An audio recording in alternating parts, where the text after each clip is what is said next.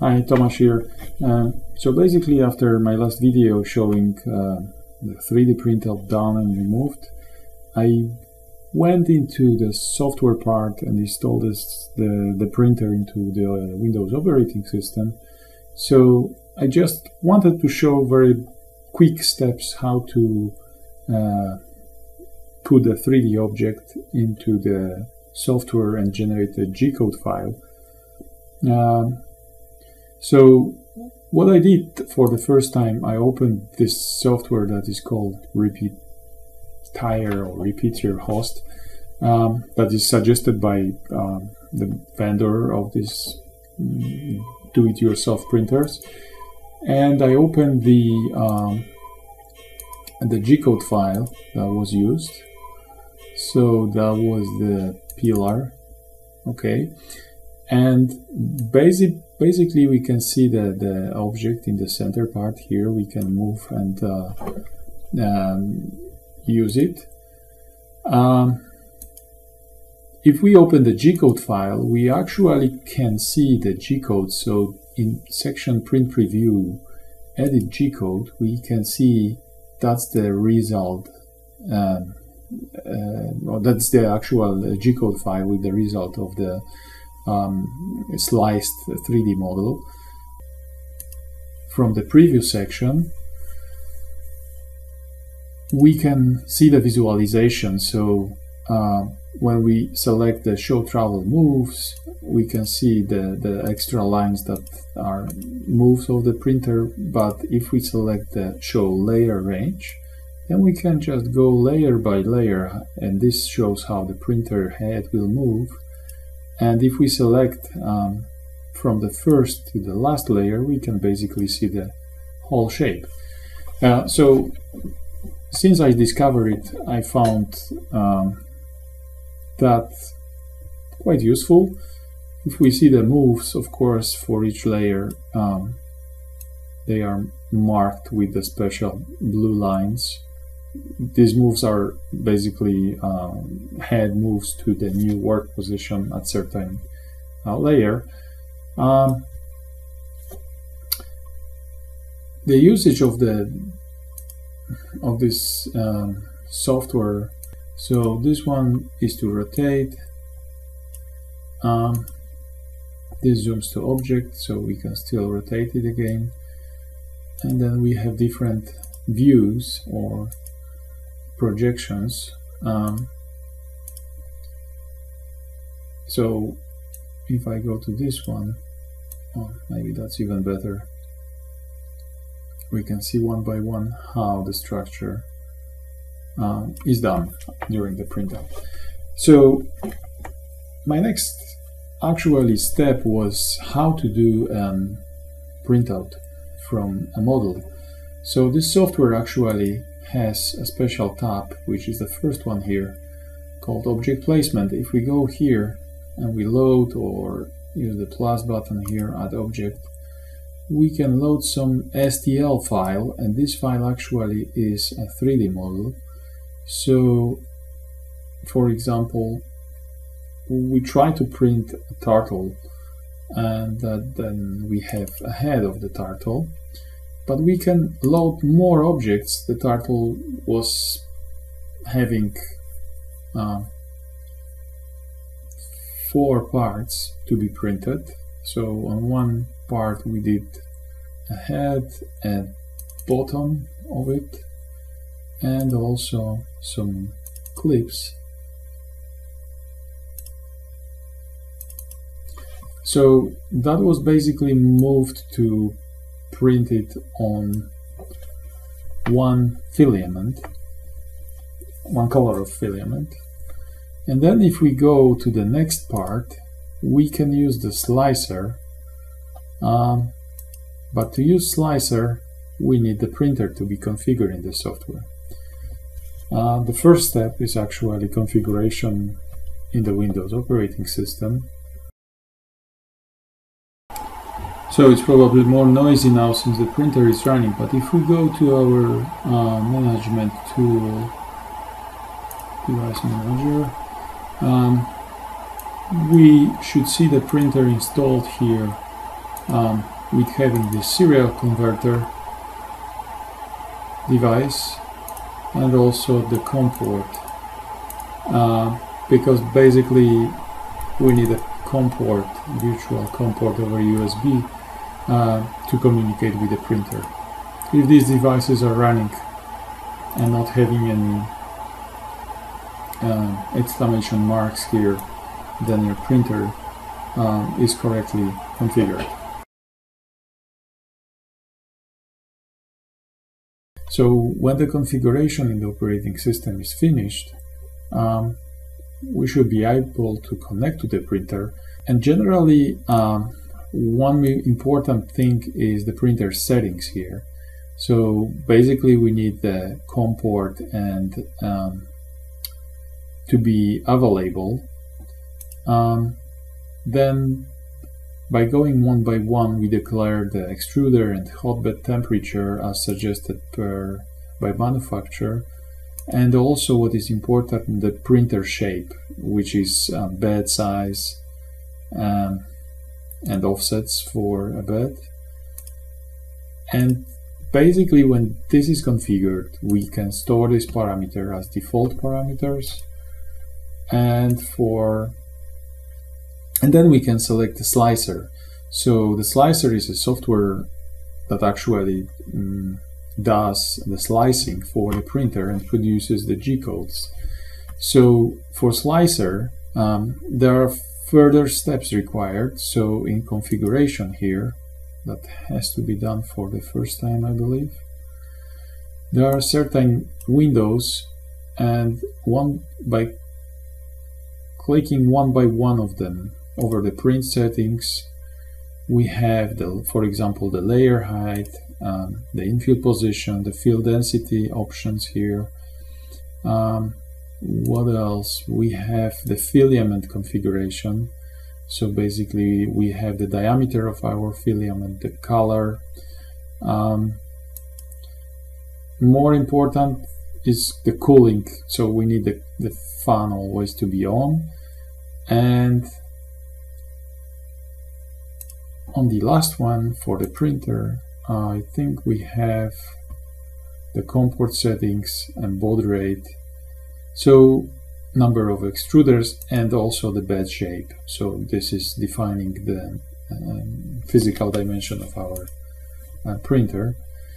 Most of them I just configured as suggested um, by vendor and I stored my each configuration using the save button here and my name and a printer name you know. So after that we can actually select each of these configuration here. So I already did another set for just PLA material so I can access it easily. And when all these settings are done we just start the slicing as you can see now by it, it takes depends probably from the size of the um, um, 3D models. It will take a while, but when this is done, it just jumps to previous session that I was presented. So first thing we can see, we can see in G-code editor we have a new code, and that's the code we want to use for printout. And then um, of course, um, we can also see how our visualization will look like. So by going layer by layer, we basically see the printout. Then we can see the moves. It's much more complex with the moves for these three or four models. Of course, we need to recalibrate uh, our printer uh, before we start. And there are two ways to print it actually. So one way is um, by saving this um, uh, for SD print, which we can do it from here or from there, we can just save it and we um, type in the name.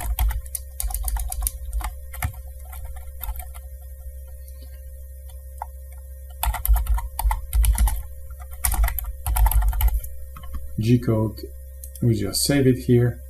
And uh, we just need to copy this uh, um, generated G-code file to SD card. Using Windows operating system or there is a part called SD card so probably um, we can use this one. Um, but I, I, I copied it manually to SD card for the first time.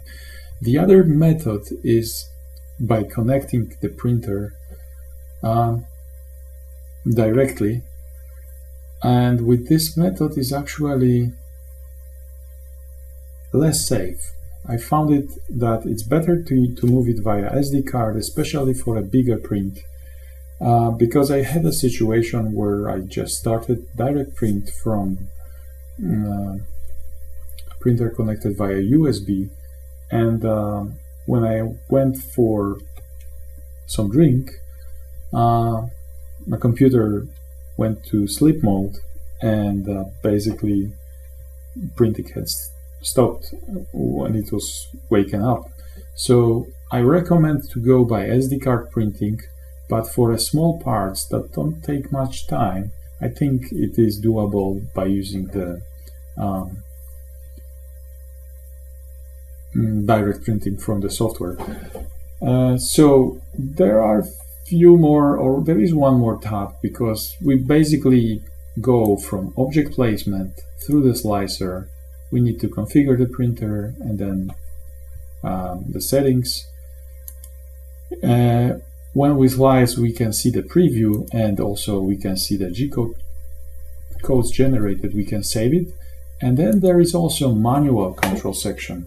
So this gives us more fast access actually to uh, to our uh, printer and uh, to show how it works. I need to power up the printer.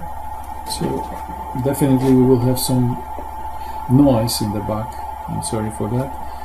And uh, when the printer is ready we can connect to that. So um, first of all we can control the, the, the movements of the printer. So for example, we can move the bed and it's just responds immediately to that. Same with the uh, z-axis. We can move up, left and right. Um, so, and um, for the z-axis as well, uh, for the x-axis. Uh, but we can also initiate the homing for Ajax or generic for all access. And uh, there are some scripts. I actually found these buttons very useful because um, we can initiate some commands, but if we right click, we can store here an extra command just to go into some, let's say, uh, calibration position. So I'm planning to, to put here a command that will be moving the bed to uh, uh, to first let's say position here for second position here and third and fourth. So the calibration will be much easier just by using this tool. The sliders here are um, the to control the fan heat bed and uh, extruder temperatures. The set point is here, so it's 55. We can see the bed, since I enabled it just a while ago, starts heating and also extruder starts heating. So this is the current value shown here and this is the set point currently that is entered here. Uh, the flow rate and feed rate, I never use that. We can probably control the extruder um, with these two things. Uh, also power button didn't work. Um, so the software is more generic for more printers from different manufacturers probably, but actually it, it, it allows to, um, to use that. Uh, so if we go with our, let's say, printout that we have in the preview at the moment, So if we go with that and we press the print, or from here or from there, um, then it will go basically to um, home position first, then it will um, start the heating, so we are almost there actually. Um,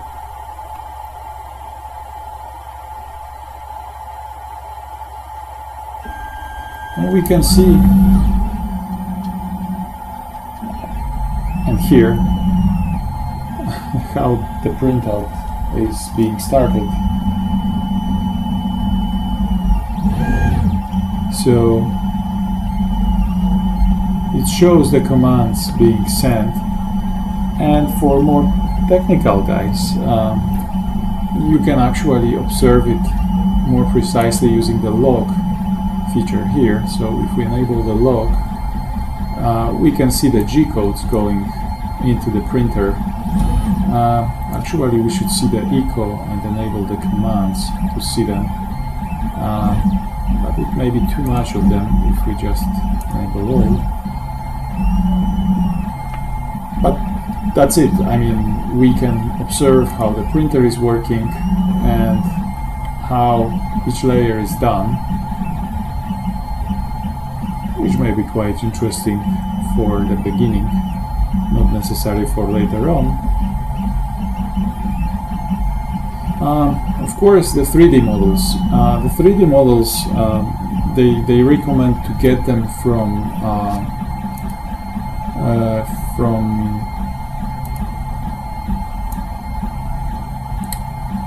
internet sites and you can basically do them by 3D modeling software. So um, what is important is that for this software for slicing the 3D model has to be saved in the STL uh, file.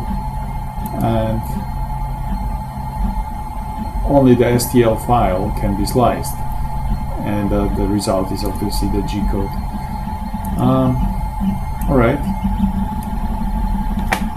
so we can currently see the printout being done. And there is also a gradient of uh, uh, the color gradient of uh, different speeds shown. So the faster printer goes uh, I think the different the color scale or maybe I'm wrong. Probably it was described somewhere here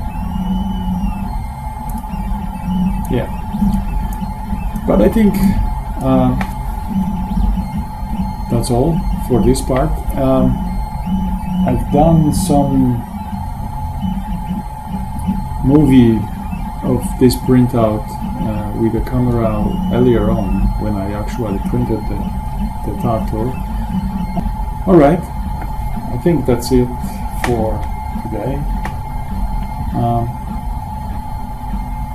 I'm not planning any further videos, but uh, if you think something may be necessary or some more clarification may be needed, please put a comment and uh, I will try to look at it uh, um, in some spare time that I sometimes have.